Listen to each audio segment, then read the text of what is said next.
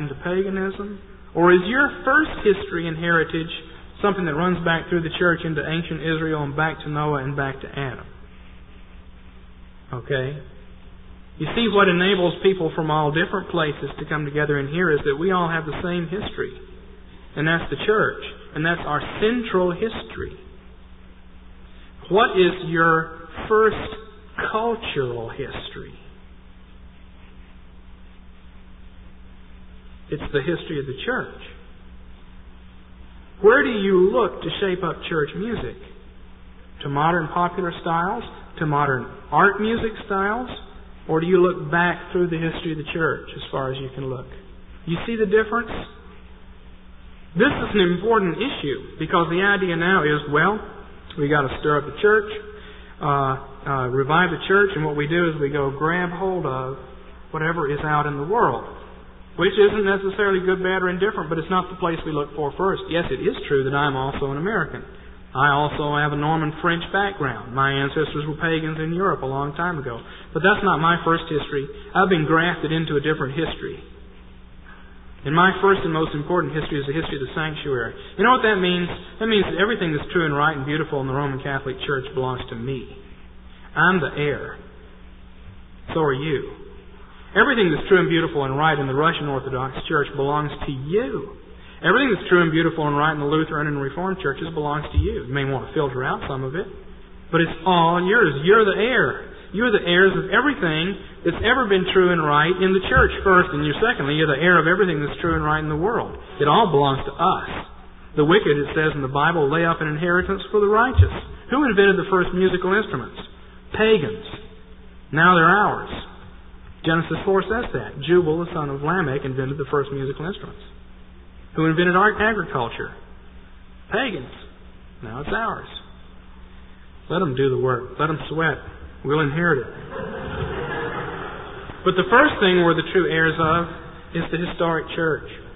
And that would be, if you want to overcome these problems we've talked about, look back at the church. And now I'm done. There's just one musical example left. And this is what I like to end with, because this is one of my favorite pieces of music for a number of different reasons. The composer is Alexander Grechaninov. Remember him?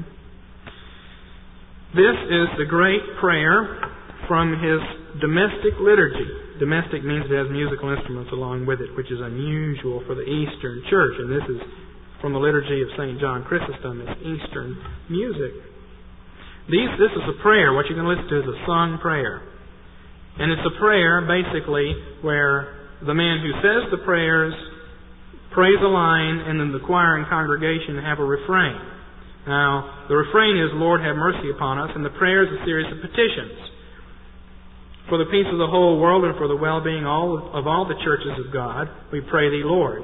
Lord, have mercy upon us. Now, Lord, have mercy upon us does not mean forgive us our sins. It means give us the kingdom. Condescend to give us the kingdom for our armed forces and for those who are suffering in other lands. Lord, give us the kingdom. And there's one petition after another, and then as he sings them, and then the choir and congregation uh, join in. The idea in the Eastern Church, and uh, theoretically in our churches, is that you go into heaven to worship. Now that has meant for them that they try real hard to create as glorious a sound as possible in their music, and this has that. Uh, also, what, the way, the effect that this music has of the choir and the congregation and the singer, you will hear it's as if a vast multitude of people are pouring out these prayers, one after another. And this is based on what the book of Revelation says when it shows us worship in heaven, it shows us the pattern in heaven, and it shows us several choirs all throwing prayer at God. Myriads upon myriads. I heard the voice of a tremendous multitude singing, Worthy is the Lamb. And I heard another voice came in and said, Hallelujah, worthy is the Lamb. And they just, these prayers were poured before God, one after another, in heaven. That was the model in the church. So that's what this sounds like. Now, another reason I like this is that it's kind of hard to hear. This was recorded in the 20s. I taped it off the radio. So it's going to be kind of like listening to something that's up in heaven in terms of the quality. It may not sound immediate. But I want you to play this for you If you like it, it's yours. If you don't like it, you don't have to use it. I like it. But you're the true heir of this. And as a matter of fact, there's nothing in this that your church couldn't do if you decided you wanted to. Maybe it wouldn't be a good idea in Huntsville. Maybe you wouldn't dare try anything like this. But it's not hard to sing. The congregational part would be real easy to do. It's sung in Slavonic, not in English. So just imagine that you're in a church service. The service has been going on for a while. You've already sung a lot. Now it's time to really pour out your prayers to God. And the bass is going to pray the prayers, and we will just join in, Lord, have mercy upon us and wash these prayers up before the throne of God. It's the impression you get from listening to this. It's very dynamic.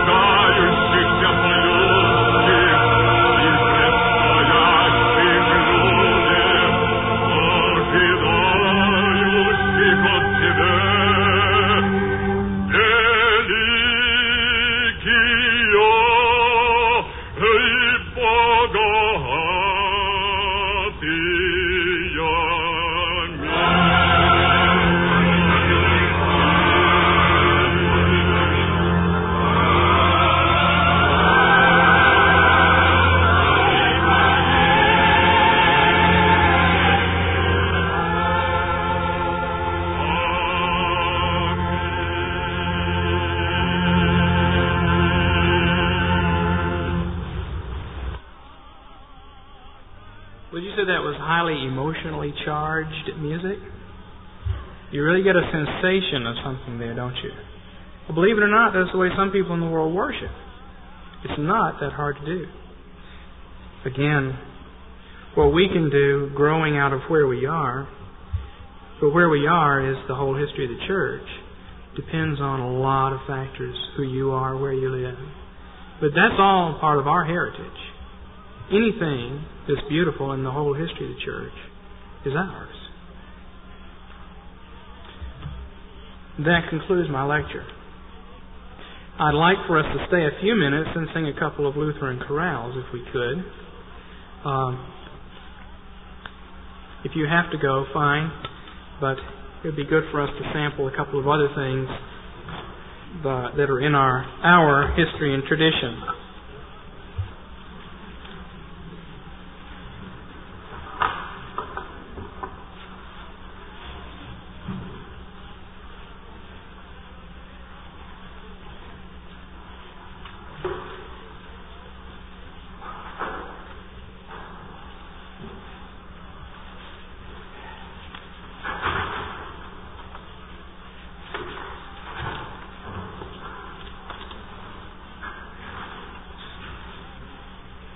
So take the sheet that has a mighty fortress on it. If you don't have one, there should be some. You know.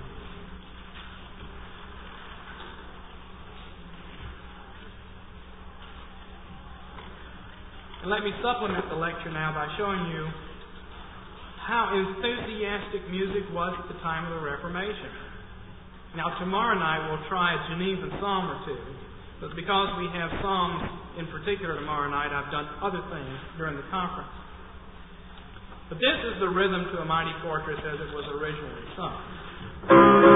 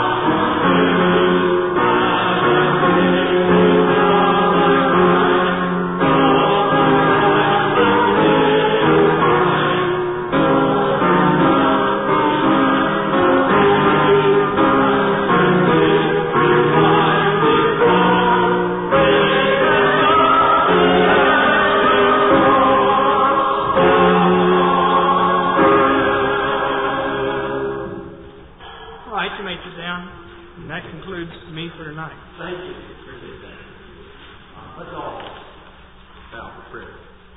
Thank you, Father, for our time together this evening, for the stimulating realization of your greatness through history. May we indeed take advantage of the heritage we have because of godly men and women who have so carefully sought you out and who themselves have been sought out by your Spirit and therefore have given us these great riches which are ours. Bless us as we seek to take advantage of them and live in the light of them we pray. Prepare us now for the Lord today, tomorrow. May we indeed come to celebrate and rejoice in the risen Christ. Enjoy Him and His presence throughout the day tomorrow. Bless uh, Jim especially as he prepares speak to us and lead our worship in many ways. We pray in Christ.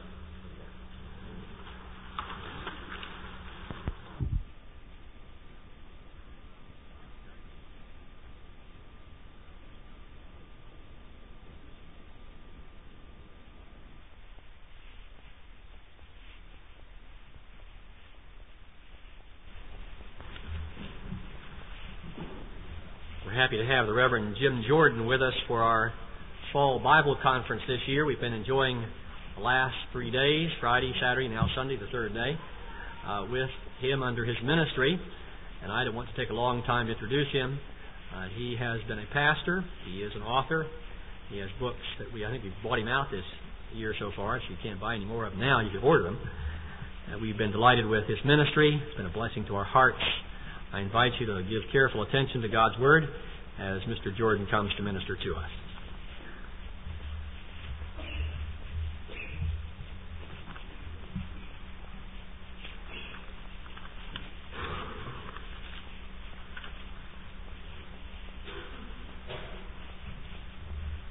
The scripture lesson will be from Ephesians chapter 5, verses 15 to 21. Would you please stand for the reading of God's Word? Therefore be careful how you walk, not as unwise men, but as wise, making the most of your time because the days are evil. So then do not be foolish, but understand what the will of the Lord is. Do not become drunk with wine, for that is dissipation, but be filled with the Spirit, speaking to one another in psalms and hymns and spiritual songs, making, singing and making melody with your heart to the Lord always giving thanks for all things in the name of our Lord Jesus Christ to God, even the Father, and being subject to one another in the fear of Christ. Let us pray. Almighty God, our Heavenly Father, we ask that you would bless our understanding of the Scriptures this day. Send your Spirit to us to guide our thoughts. Bless me as I teach, and the congregation as they hear. We pray in the name of Christ our King. Amen.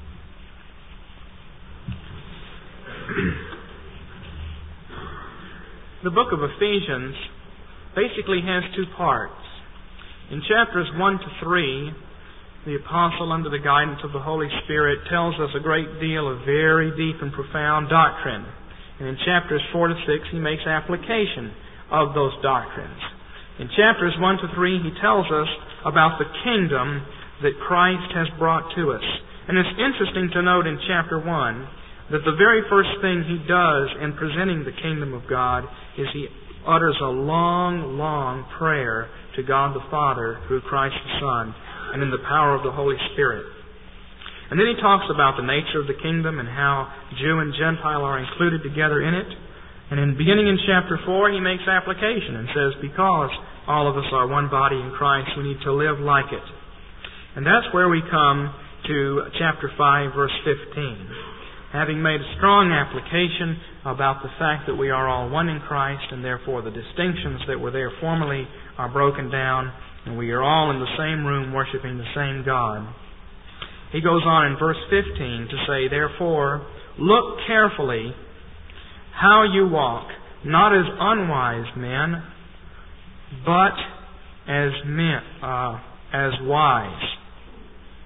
These are exhortations on the Christian walk. How do we walk as Christians? Well, not as unwise people, but as wise people. He goes on from this, talking about this walk, in verses 22 of chapter 5 to say, Wives, be husband to your subjects. Uh, excuse me, wives, be subject to your husbands. In chapter 6, he says, Children, obey your parents. Uh, verse 5 of chapter 6, servants be obedient to your masters. And finally, in verse 10, finally be strong in the Lord and in the strength of his might. You remember many of these passages, I'm sure. But before he goes on to talk about these interpersonal relationships that we have in life and in the body of Christ, he says something about psalms and hymns and spiritual songs. It seems that this is a somewhat more foundational matter even than our personal relationships because it sets the key and the tone for our personal relationships.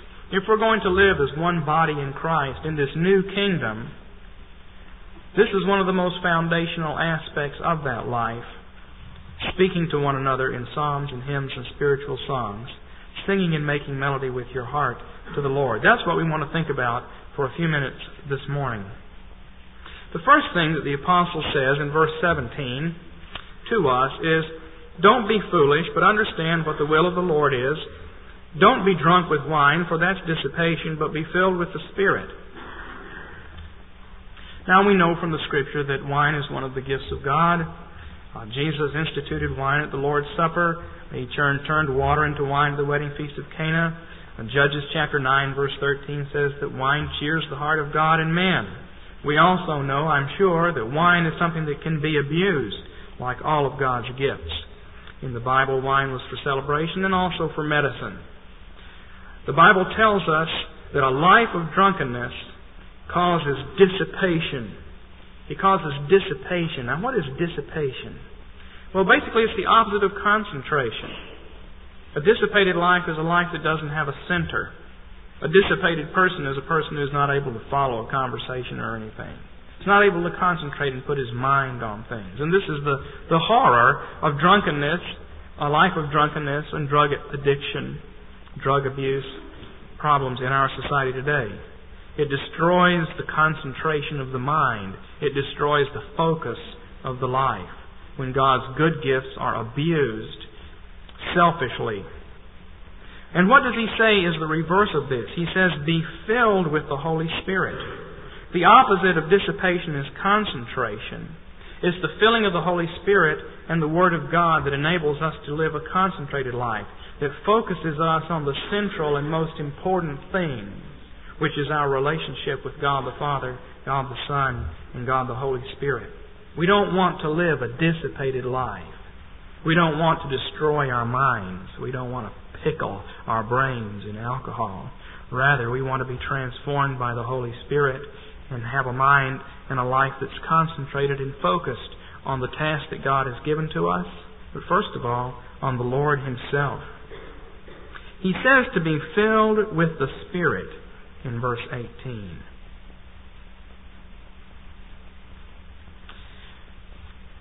What does that mean? I, I need to take a couple of minutes on this because many of us were taught that being filled with the Spirit is something that happens instantly by an act of the will. If you confess your sins, then you're filled with the Spirit. And you're either filled with the Spirit or you're not filled with the Spirit and you're living a carnal life as a Christian. The people who developed that way of teaching intended something very good. They were trying to stimulate us to righteousness. Uh, they were trying to say, stop sinning, be filled with the Spirit and live righteously. But I don't think that that's exactly what the filling of the Spirit is in this passage. Certainly, if we're out of sorts with God, if we're nervous about approaching God, if we're not in fellowship with God, we need to confess our sins, and He's faithful and just to forgive us our sins, and we are restored to that sense of fellowship with Christ that we need. That's all true. But I think that when we look at this sentence in context, when it says be filled with the Spirit, he goes on to explain that this means that we speak to one another in psalms and hymns and spiritual songs. How do you get filled with the Spirit? Well, the Spirit is given to glorify the Word. The Holy Spirit comes to glorify Christ and to glorify the Word of God. And if we're going to be filled with the Spirit, we're going to have to be saturated and filled up with the Word of God. And that's not something that just happens instantly. Uh, you confess your sins, you don't suddenly have a bunch of Scripture memorized. Uh, you're going to have to take some effort to learn psalms and hymns and spiritual songs. It's saturation in the Word of God that leads to the filling of the Spirit. And that's part of what worship is all about. Worship is the time when we come and we get bombarded with the Word of God. We hear the Word of God read. We hear the Word of God preached. The Word of God is given to us in the sacraments. The Word of God is supposed to be spoken to one another as we speak. We sing the Word of God to the Lord and to one another. Notice many of the Psalms are sung to one another. Like Psalm 100 is not addressed to God. Uh, it's a psalm in which we speak to one another in this psalm. Let me just read Psalm 100. Remind you of it. Shout joyfully to the Lord, all the earth. Serve the Lord with gladness. Come before him with joyful singing. Know that the Lord is God. It's he that's made us, not we ourselves. We are his people and the sheep of his pasture. You'll notice that that's not talking to the Lord. That's an exhortation to one another. And it's in worship that we are bombarded with the Word of God because that's what transforms us. And it needs to go into us and become a part of us. And if we become filled with the Word of God, that's the first step of being filled with the Spirit. It's a filling up process, and it's something that we need to keep alive. Scripture memory is part of it. The disciplines of the historic church of learning the Scriptures. We can't speak to one another in psalms and hymns and spiritual songs unless we know them. Now, what does this mean? Speaking in psalms and hymns and spiritual songs. What are psalms and hymns and spiritual songs? Well, in our tradition, there's a lot of debate about what these are. Uh, the Presbyterian tradition is that these are all different kinds of psalms. That the 150 psalms of David are divided into three kinds. Some of them are psalms, some of them are hymns, and some are songs of the Spirit. That's a position that hasn't been very persuasive. Posi- another position is that psalms and hymns and spiritual songs means what you might think initially it means. Well, first of all, psalms are the songs that are in the Bible. Hymns, well, those are the classic hymns of the church. And spiritual songs are gospel songs. Uh, more familiar, informal type of singing. I'm not persuaded of that interpretation either. I'm not sure that the New Testament writers uh, had quite that in mind either. I think that psalms and hymns and spiritual songs here means Scripture. I think that the psalms here are the 150 psalms of David, and then hymns and spiritual songs or songs of the Spirit refer to all the other songs that there are in the Bible, like the song of Moses, the song at the Red Sea, the song of Hannah, the song of Mary, the song of Zechariah, the many songs that are in the book of Isaiah, the song in Philippians chapter 2, the song in Colossians chapter 1. Did you know that these books have songs in them? Let me read a couple of them. Colossians has a song. This is a hymn. I've been in churches where this was sung. Listen to this hymn in Colossians chapter 1, starting in verse 13. For he delivered us from the power of darkness and transferred us to the kingdom of his beloved Son, in whom we have redemption, the forgiveness of sins he is the image of the invisible God, the firstborn of all creation. For in him all things were created, both in heaven and on earth, visible and invisible, whether thrones or dominions or rulers or authorities. All things have been created through him and for him, and he is before all things, and in him all things hold together. That's the first stanza. It sings about Christ, the creator and governor of the universe. And then here's the second stanza, and it's exactly parallel to the first. He is also the head of the body of the church. He is the beginning, the firstborn, not of creation, but from the dead, so that he himself might have first place in everything. For it was the Father's good pleasure for all fullness to dwell in him and through him to reconcile all things to himself, having made peace through the blood of his cross. Most scholars tell us that that's a hymn, a hymn that was sung in the early church, a spiritual song, a song inspired by the Holy Spirit. Here's another one from Philippians. Turn back a little bit to Philippians chapter 2. This is a hymn that was sung in the early church. And it just shows up here in the text. Starting in chapter 2, verse 5. Have this attitude in yourselves, which was also in Christ Jesus. For although he existed in the form of God, did not regard equality with God a thing to be grasped, but made himself of no reputation, taking the form of a bondservant and being made in the likeness of men. And being found in appearance as a man, he humbled himself by becoming obedient to the point of death, even death on the cross. And then the song changes direction. Therefore also God highly exalted him and bestowed on him the name that's above every name, that at the name of Jesus every knee should bow, those that are in heaven and on earth and under the earth, and that every tongue should confess that Jesus Christ is Lord, to the glory of God the Father.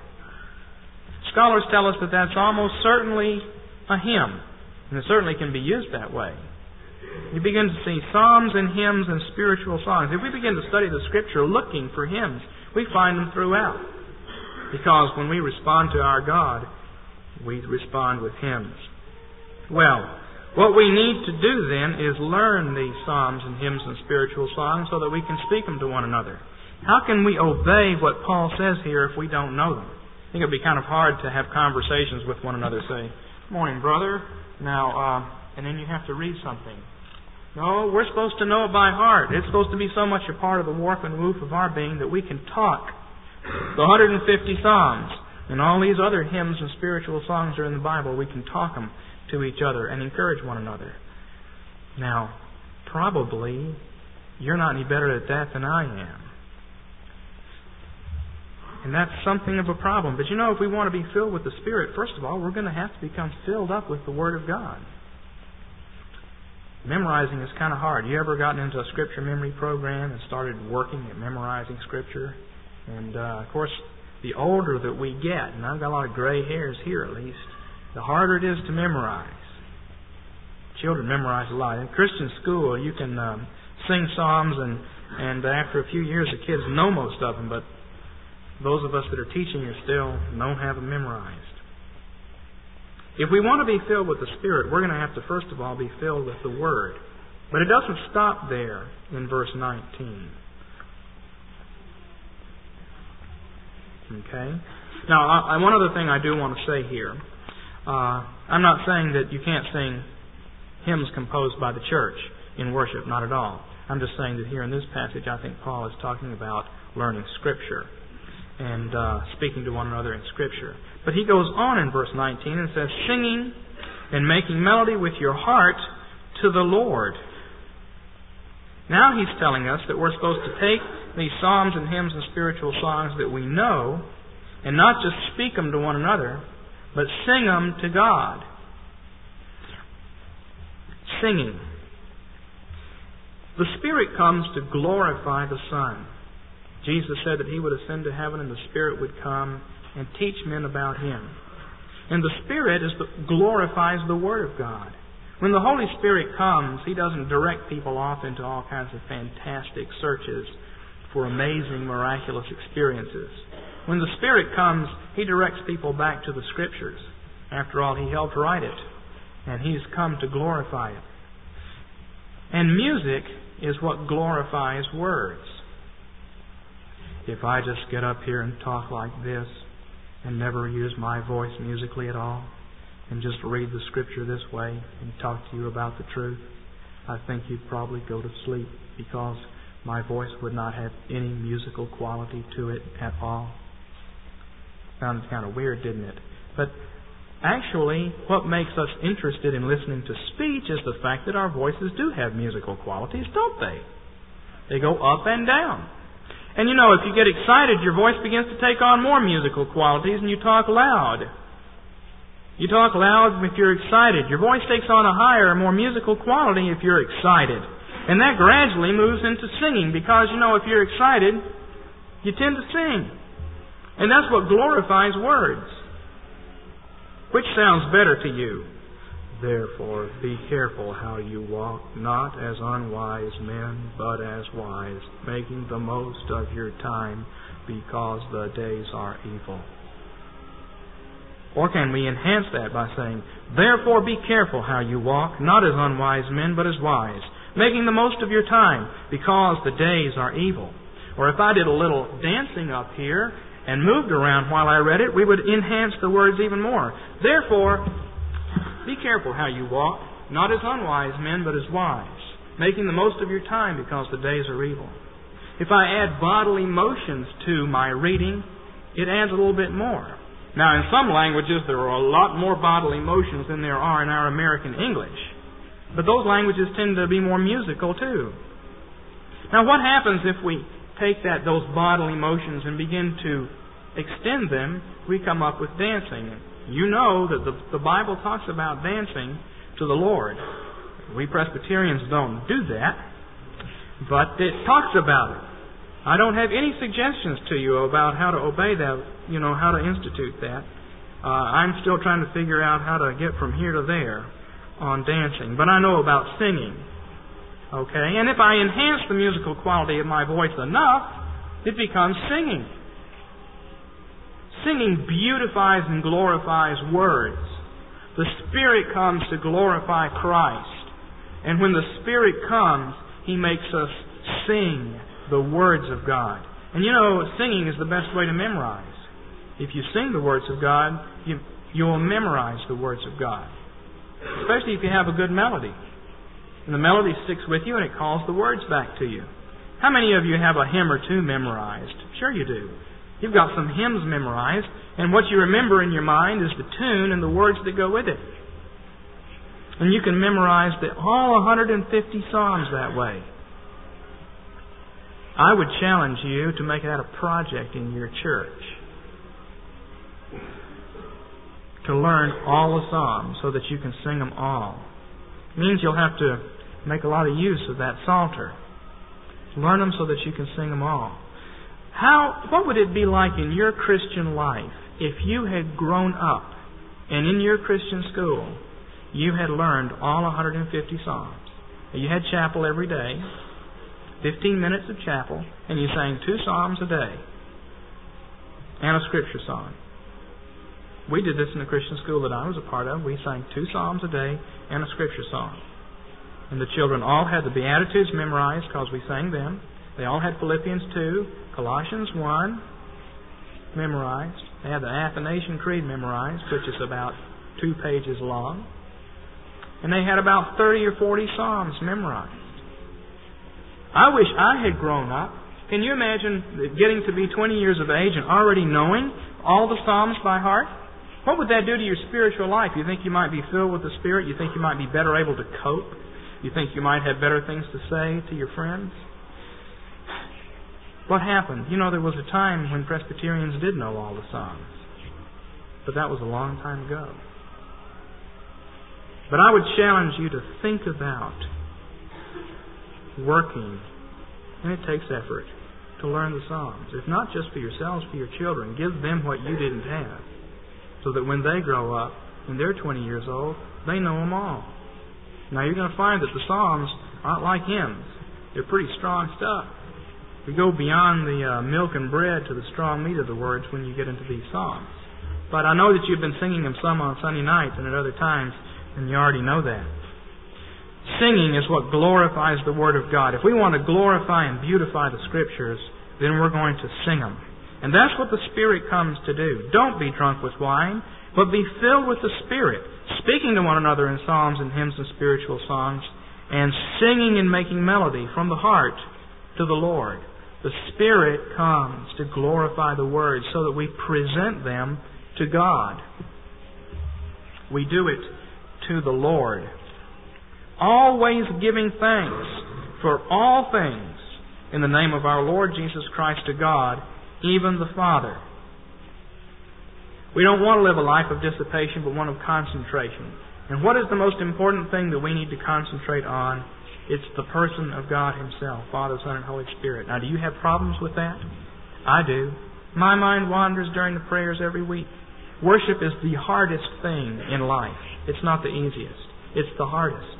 Because our hearts are desperately wicked. And the thing that our, the wicked side of our nature hates the most is coming face to face with God. That's what we rebelled against. And if you have problems in your marriage, or if you have problems with your parents, or problems on the job, they're nothing compared to the problem that we have with Him. And so it's hard for us to concentrate and focus our attention on God. Don't tell me your mind never wanders during prayer in church. Of course it does. Because that's the hardest thing for us to do. Our rebellion in the first place was against that. Of course, the Holy Spirit has come next to us to pray in groanings too deep to be uttered, to transform our hearts. But you know and I know that there's still a lot of problems down in there. Romans 7 tells us that we still have a desperately wicked side to our heart, and that when we least expect it, our hearts throw up evil and wicked thoughts into our minds. Paul says, When I am minded to do good, that's when evil is with me. When I set out to do something good, it seems that's when this gorge of wickedness rises up the most. Well, what's the, the best thing we do is to come into the house of God and render Him formal praise. And that's when our mind begins to think of everything else. I find that. I bet you do too. I guess we're kind of dissipated, aren't we? Even if we don't come in here drunk with wine, we're kind of dissipated. But the Spirit and the Word of God will help us to overcome that and to restore our focus on the central thing, God Himself. Notice what He says giving thanks for all things in the name of our Lord Jesus Christ. Worship is thanksgiving, it is an act of praise. It's not just coming and listening to a sermon, not just coming and listening to the choir. But worship needs to be something that we throw ourselves into. Because you see, we've got this desperate problem. And desperate problems require desperate measures. And we have to take ourselves by the hand and say, I will throw myself into the worship of God. I will actively pursue the worship of God. If you don't, if you just kind of sit there and wait for it to happen, you get dissipated. We have to take ourselves in hand and make ourselves worship the Lord. Because it's hard for us to do. But it's the most important thing we can do. How do we do it? Well, again, be filled with the Word, sing and make melody to God as an act of praise. Praise focuses our minds on God better than anything else. There are other kinds of prayer as well, but the overall context of worship is praise. Giving thanks always giving thanks for all things in the name of our Lord Jesus Christ to God, even the Father. It's in worship that we learn to do that so we can do it during the week. The psalms and hymns you memorize in here, you can carry with you as you drive to work or as you do the dishes or whatever. This is the place to learn them. Learn to throw ourselves through an active concentration, focusing ourselves on God, stirring ourselves up to do it to actively worship God and not just passively sit here and wait to be stimulated by something. You know, back when I uh, fell in love with my wife and we were dating, I used to sing a lot. Of course, after you get married, it kind of goes out. We won't ask how many men used to sing to their wives and then kind of stopped after a while because that comes and goes. But you know, if you're in love, you sing. And if we don't sing enough, it's because we don't love enough. You know, it's also true that if you're excited, you sing. And if we're excited about God, we sing. Presbyterians just find it hard to get excited. No, your service is pretty good here, but I've been in some that, uh, my goodness, people didn't want to sing. They weren't excited. But the basic rule is why say it when you can sing it? You said the Apostles' Creed today. Why not sing it? I challenge you to get excited and learn to sing the Apostles' Creed. And while you're at it, the Nicene Creed. I challenge you to sing as much as you can. You don't have to be anything but Presbyterians to sing. This is our Word of God that tells us how to worship. So let me sum it up. If we want to live the abundant life, we're going to have to be full of the Spirit. And if we're going to be full of the Spirit, we're going to have to be full of the Word of God. And then we need to sing the Word of God. The church in our day needs to take seriously this matter. Uh, your church has already made a great start because you have psalm singing in your church. But the church in general in our day is in bad shape because the psalms are just plain ignored. We've got to take ourselves in hand, train ourselves in psalm singing, and hurl those psalms before the throne of God in active praise to Him. Because this is one of the most basic keys to life, and it will lead us to the throne of God. Let's stand and pray.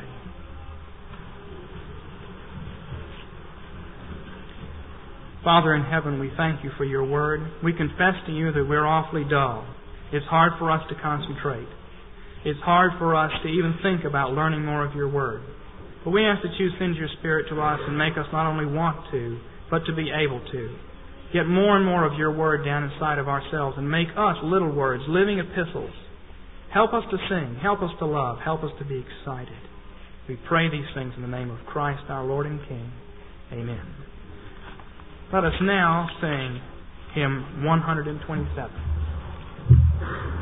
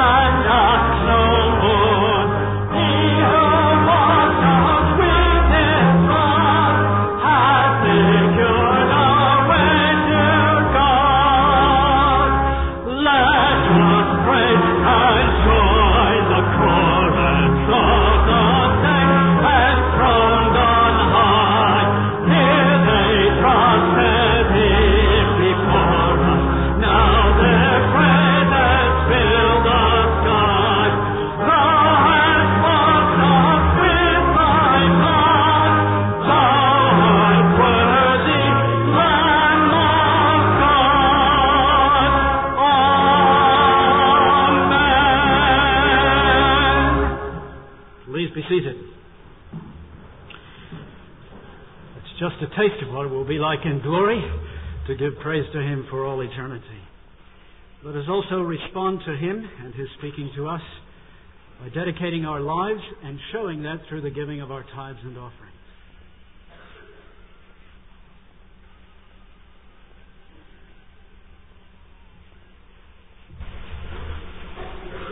After the offertory, we will sing the doxology, and after the benediction, we will sing the threefold Amen, which you can find in the front of your hymnals.